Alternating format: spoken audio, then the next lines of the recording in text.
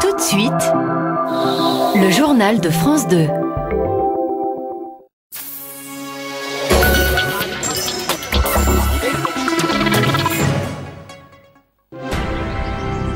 Le journal de 20h, Julien Bugier. Il est 20h, bonsoir à tous. Dans l'actualité ce soir, un incendie sur le site nucléaire de Panly près de Dieppe. Deux départs de feu se sont déclarés dans le bâtiment du réacteur. EDF affirme ce soir qu'il n'y a aucun danger, alors le pire a-t-il été évité? Nicolas Bertrand est sur place. 32 mesures et une lettre aux Français. Nicolas Sarkozy présentait aujourd'hui le détail et le chiffrage de son programme. Au final, peu de nouveautés et un objectif, la réduction des déficits.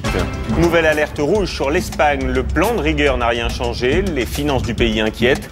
Alors un scénario à la grecque est-il possible? François Baudonnet nous répondra. Et hommage unanime après la disparition du cinéaste Claude Miller. Il est mort la nuit dernière à l'âge de 70 ans. Il était l'un des grands réalisateurs du cinéma français. D'abord donc cet incendie survenu tout à l'heure sur le site nucléaire de Panly en Seine-Maritime. Le feu a pris à deux endroits au plus près du réacteur. L'alerte a été déclenchée, le système arrêté, il n'y a aucun blessé. Ce soir EDF affirme que tout est sous contrôle. Lumna Anaki avec Jean-François Monnier.